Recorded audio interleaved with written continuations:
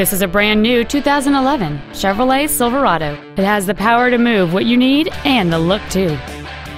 It has a 5.3-liter, eight-cylinder engine and a four-speed automatic transmission. Its top features include air conditioning with automatic climate control, heated side view mirrors, a remote start feature, a DVD player, a leather wrapped steering wheel, variable valve timing, chrome wheels, a low tire pressure indicator, dual cargo area lights, and cruise control. Stop by today and test drive this vehicle for yourself.